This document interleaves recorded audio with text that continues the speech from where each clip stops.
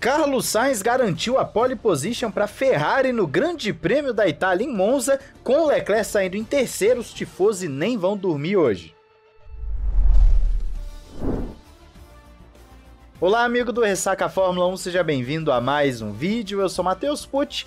Tivemos uma sessão de qualifying bem legal, bem animada na Itália, em Monza, na casa da Ferrari e que tem pole position da Ferrari. Mais festa que isso só se a Ferrari vencer amanhã, porque os tifosi já estão em polvorosa. Só que tem um detalhe nessa pole position da Ferrari que eu confesso que tá me deixando muito surpreso. Eu tava falando agora aqui com os membros, também falei no Twitter eu estou surpreso com a cara de pau da FIA, porque a FIA geralmente ela tenta pelo menos enganar a gente, né? Mas não, dessa vez ela simplesmente teve a cara de pau de dizer para todo mundo que vai moldar as coisas do jeito que ela quiser e pronto, tá tudo certo. Eu vou falar já já sobre isso. Antes eu vou passar aqui pelo qualifying rapidamente. No Q1 nós tivemos a saída de Stroll, Magnussen, Ocon, Gasly e Joe, sendo que as duas Alpines realmente decepcionaram bastante. E o Stroll tá num 2023 horroroso. Ele é um piloto comum, um piloto que nas outras temporadas ele teve bons resultados, tinha altos e baixos tal, mas em 2023 esquece, depois da corrida no Bahrein, é uma queda vertiginosa do Stroll. Q2, Sargent, Bottas, Huckenberg, Lawson e Tsunoda. Destaque para o Lawson andando junto do Tsunoda. Quer dizer, junto entre aspas, né? Ficou ali quase dois décimos, um décimo e meio atrás. Mas tá aí o Q2. Q3, Alonso, Norris, Hamilton, Piastri, Albon e o Pérez em quinto com Russell em quarto. A gente já esperava uma Williams forte porque o carro é muito bom de reta, Mercedes mostrando que pode ser que brigue por alguma coisa, McLaren não é tão boa assim de reta, Aston Martin nem se fala. Agora, fãs do Sérgio Pérez, vocês que aqui acham que eu tenho uma cruzada contra o mexicano, que na verdade eu só falo óbvio aqui para vocês, Devo dizer para vocês não ficarem assustados com o tempo do Pérez. Ele teve um vazamento de óleo, precisou trocar o motor e teve que trocar por um com mais quilometragem. Então esse grande prêmio da Itália para o Pérez vai ser mais para minimizar danos do que propriamente brigar efetivamente por alguma coisa. Pode ser que alcance um pódio? Pode, claro. Mas com um motor mais desgastado fica mais difícil uma pista de aceleração plena, uma média de velocidade altíssima. Acho muito difícil Pérez conseguir um resultado muito expressivo, mas nesse caso nem é tanto culpa dele, é mais do carro, do motor por si só que foi trocado. Então vamos ser justos com o Sérgio Pérez, esse final de semana vai ser sim mais difícil para ele. Isso justifica o porquê de ter ficado, por exemplo, atrás do Russell na sua volta final do Q3. Agora, o que interessa pra gente está no top 3, porque nós temos o Leclerc em terceiro, fazendo uma boa volta com a sua Ferrari, o Verstappen em segundo e o Sainz em primeiro.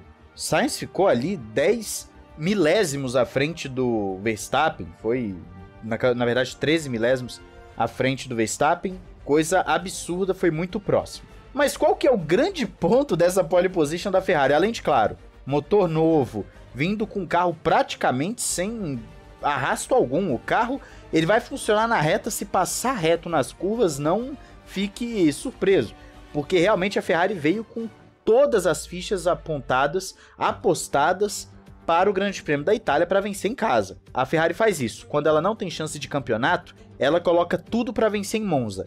Esse é o ponto da Ferrari.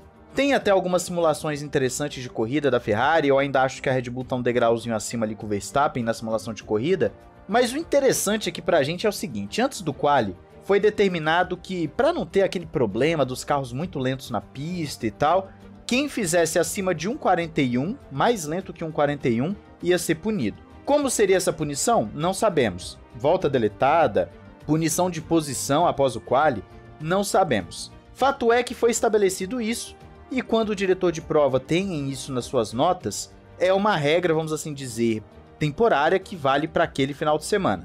É a mesma coisa que acontecia com os track limits lá em 2021, você deve se lembrar.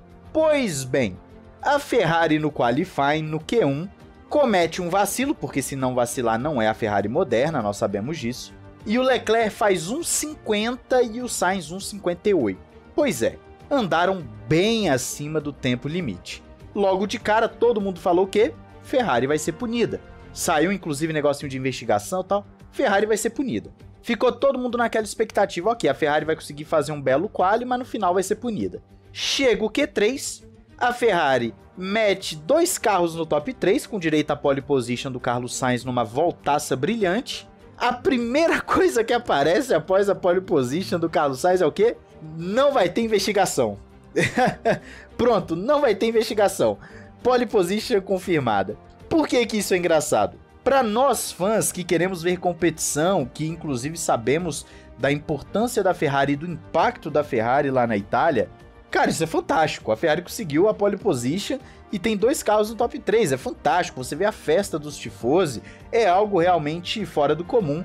O Grande Prêmio de Monza é um que eu gostaria muito de ir um dia para estar tá presenciando isso, ver como é que é essa atmosfera dos tifosi. Só que você tem um problema enorme que não pode ser ignorado de forma alguma, que é o fato da FIA não ter punido em uma regra objetiva.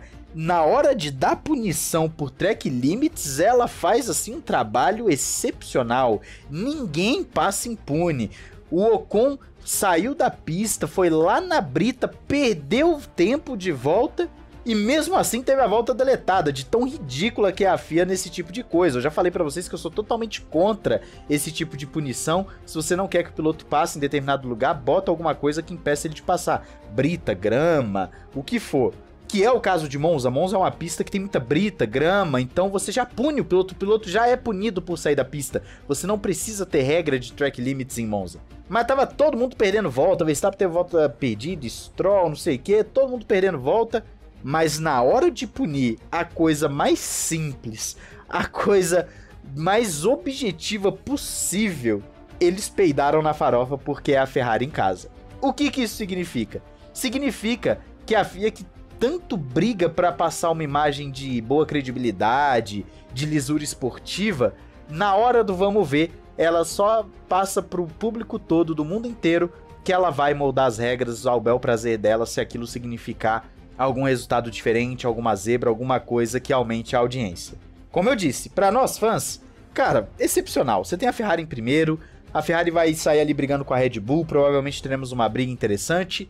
Isso é fantástico. Mas do ponto de vista esportivo, eu tô dando risada, porque a FIA nem tentou nos enganar como geralmente ela faz. Você pode pegar qualquer coisa ao longo da história polêmica, a FIA sempre tenta dar uma enganada, ela pega uma parte do regulamento, ela fala que não é bem assim, não sei o que. Ela tenta dar uma enganada. Nessa de Monza 2023, ela nem tentou disfarçar. Ela nem falou, olha, os pilotos da Ferrari foram atrapalhados na volta, por isso que foram mais lentos. Ela nem tentou dar uma justificativa para gerar o debate. Ela simplesmente botou na tela, olha, estamos aqui literalmente de pernas abertas para a Ferrari. É basicamente isso que ela falou. A gente não vai punir porque a Ferrari em Monza. Nós vamos fingir que não vimos.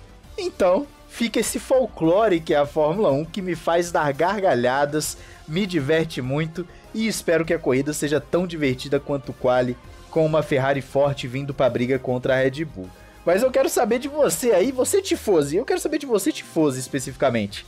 Eu sei que você tá feliz com a pole e tal, mas que foi uma bela de uma passada de pano, foi, né? Diz aí, não esqueça de se inscrever e ativar o sininho para não perder nada. Depois a gente deve ter um segundo vídeo hoje ainda. E também entre na Instant Game para comprar os seus jogos, gift cards mais barato e ainda também ajudar o canal. Um grande abraço, valeu e falou!